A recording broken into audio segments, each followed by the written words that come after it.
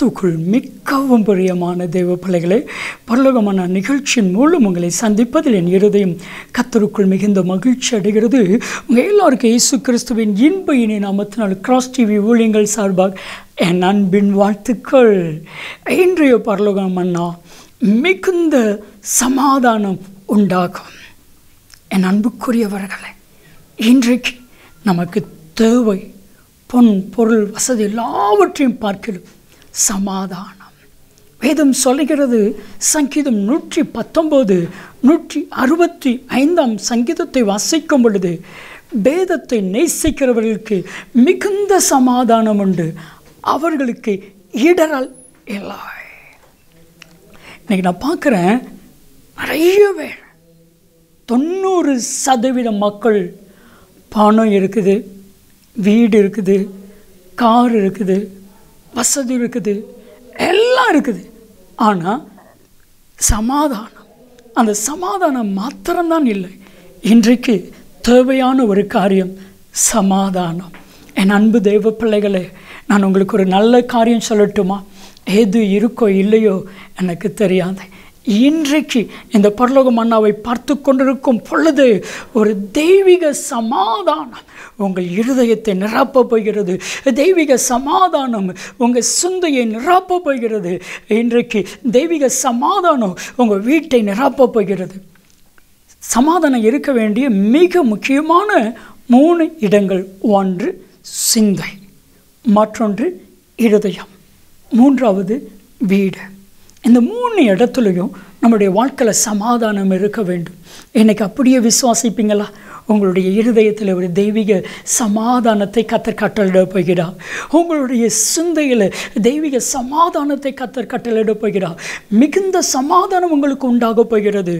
பிலிப்பேரின் புத்தகம் நான்காவது அதிகாரம் ஆறு ஏழு வசனம். இந்த ரெண்டு வசனத்தையும் சேர்த்து வாசிக்கும் பொழுது வேதம் சொல்கிறது நீங்கள் ஒன்றுக்கும் கவலைப்படாமல் எல்லாவற்றையும் உங்களை வேதனைப்படுத்துகிற உங்களை கஷ்டப்படுத்துகிற உங்களை சமாதானத்தை குலைத்து போடுகிற எல்லாவற்றையும் ஜபத்தோடு கூடிய ஸ்தோத்திரத்தினால் தேவனுக்கு தெரியப்படுத்துங்கள். அப்பொழுது எல்லா புத்திக்கு மேலான தெய்வ சமாதானம் உங்கள் இருதயத்தையும் உங்கள் சிந்தையையும் கிறிஸ்து இயேசுக்குள் காத்துக்கொள்ளும். நல்லா கவனிச்சுக்கோங்க. உங்கள் இருதயம் சமாதான குறைச்சலோடு இருக்கக்கூடாது. உங்களுடைய சிந்தை சமாதான குறைச்சலோடு இருக்கக்கூடாது. அப்படி இருக்கும் பொழுது தான் உங்களுடைய சரீரம் பாதிக்கப்படுகிறது உங்களுடைய செயல்கள் பாதிக்கப்படுகிறது. நீங்கள் செய்கிற ஒவ்வொரு காரியத்திலும் பாதிப்பு ஏற்படுவதற்கு காரணம் என்ன? இருதயத்தில் சமாதானம் இல்லை சிந்தையிலே சமாதானம் இல்லை. இன்றைக்கு தெய்வீக சமாதானத்தை கற்றுக் கொடுக்க போகிறான் இந்த தெய்வீக சமாதானம் உங்கள் சிந்தையில் உங்கள் இருதயத்தில் வர வேண்டுமானால் நீங்கள் நீங்கள் செய்ய வேண்டிய ஒரு காரியம் ஒன்றுக்கு கவலைப்படாமல் எல்லாவற்றையும் ஸ்தோத்திரத்தை ஆண்டவருக்கு தெரிவிச்சிருங்க. ஒரு காரியம் தெரியுமா? என்னை யாராட்டும் புகழ்ந்தாங்க. சூப்பர் பிரதர் அப்படி இப்படின்னு புகழ்ந்தாங்கன்னா நான் ரொம்ப என் இருதயம் பெருமைப்படாது என் இருதயம் சந்தோஷப்படாது என் சிந்தை ரொம்ப மேட்டுமையாகாது. ஆண்டோட்டத்தில் சொல்லிடுவேன். எல்லாம் உமக்கு ஆண்டு வரேன் அதே போல் எவ்வளவு கேவலமாக என்னை நிந்தித்தாலும் என்னை வேதனைப்படுத்தினாலும் காயப்படுத்தினாலும் ஆண்டவரை இதுவும் உமக்கு தான் ஆண்டவரை. நிந்தையில் நான் கவலைப்பட போகிறதில்ல புகழ்ச்சியில் நான் சந்தோஷப்பட போகிறதில்ல கத்தரை துதிக்க ஆரம்பிச்சாச்சுன்னா சமாதானம் வந்துவிடும். மா மற்றும் மாத்திரமல்ல உங்களுடைய வீட்டிலே சமாதானம் தேவை. எனக்கு எல்லாம் இருக்கும். கணவன் மனைவிக்கு இடையில் சமாதானம் இருக்காது. கூட பிறந்தவர்களுக்கு இடையில் சமாதானம் இருக்காது. நண்பர்களுக்கு இடையில் சமாதானம் இருக்காது. நல்ல கவனிங்க. இதை குலைத்து போடுகிற பிசாசு. ரோமர் பதினாறு இருபதில் சமாதானத்தின் தேவன் சமாதானத்தை குலைத்துப்படுகிற சாத்தான உங்கள் காலின் கீழே போட்டு நசுக்கி போடுவேன் என்று வாக்கு கொடுக்கிறார். இதுவரைக்கும் உங்கள் குடும்பத்தில் சமாதான குலைச்சல் ஏற்படுத்த சத்துரு கிரிகள் அழிக்கப்பட போகிறது.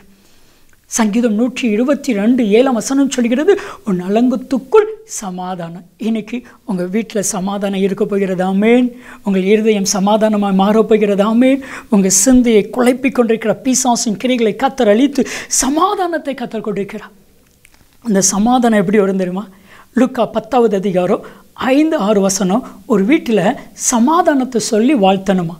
அந்த வீட்டில் சமாதானத்திற்கு பாத்திரவான். அந்த வீட்டில் இருந்தால் அந்த சமாதானம் அவன் மேல் பலிக்கும். இன்றைக்கி நான் சொல்லட்டுமா? ஆண்டவரே எனக்கு உங்களுடைய சமாதானம் வேணும். மெய் சமாதானம் வேண்டும் மிகுந்த சமாதானம் வேணும். நான் வேதத்தை நேசிப்பாண்டவர் நான் கலங்க மாட்டாண்டவர் மை துதிப்பாண்டவர் சொல்லி பாருங்க. உங்கள் இருதயத்தை சமாதானம் நிரப்பும். உங்கள் சிந்தையை சமாதானம் நிரப்பும். உங்களுடைய வீட்டை சமாதானம் நிரப்பும். ஜெபிக்கலாமா? தகுப்பானு. மிகுந்த சமாதானம் உண்டாகும் என்று சொன்னீரே. மிகுந்த சமாதானத்தினால் இவர்களுடைய இருதயம் இவருடைய சிந்தை இவருடைய வீடை நிரப்பும். இயேசு கிறிஸ்துவின் இன்பின் நாமத்தில் செபிக்கிறோம் ஜீவனில் பிதாவே ஆமேன் ஆமேன். மிகுந்த சமாதானம் உண்டாகும். நன்மையும் கிருபையும் ஆசீர்வாதங்களும் நிச்சயமாய் உங்களை தொடரும்.